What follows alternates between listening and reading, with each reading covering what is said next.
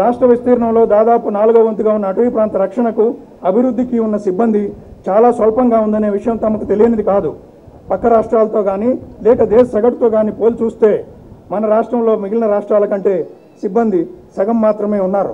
ఉదాహరణకు ఎర్రచందనం అటవీ ప్రాంతంలో సగటున ఒక్కో బీట్ గార్డు నలభై చదరపు కిలోమీటర్లకు మించి అటవీ ప్రాంతాన్ని రక్షించవలసి ఉంటుంది.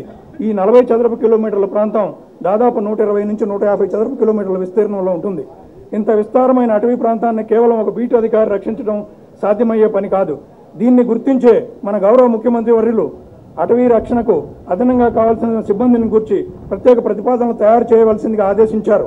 దీనికి అనుగుణంగా ఎర్రచందనం అటవీ ప్రాంతంలో దాదాపు నాలుగు వందల డెబ్బై రెండు మంది సిబ్బంది కావాల్సిందిగా ప్రతిపాదనలు తయారు చేసి ప్రభుత్వం వారికి ఇవ్వటం జరిగింది. ఈ ప్రతిపాదనలు ఆర్థిక శాఖ పరిశీలనలో ఉన్నాయి.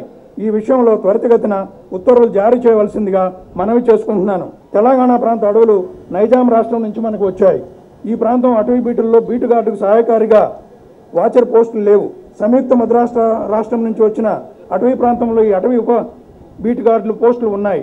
ఈ తారతమ్యతను తమరు గుర్తించి మీరు తెలంగాణ ప్రాంతంలో పదకొండు వందల ఎనభై నాలుగు అసిస్టెంట్ బీట్ ఆఫీసర్ పోస్టులు మంజూరికి గాను సూత్రప్రాయంగా అంగీకరించారు. ఈ ప్రతిపాదనలు కూడా ఆర్థిక శాఖ పరిశీలనలో ఉన్నాయి. దీనిపై కూడా త్వరితగతిన ఉత్తర్వులు మంజూరు చేయవలసిందిగా మరీ మరీ కోరుకుంటున్నాను.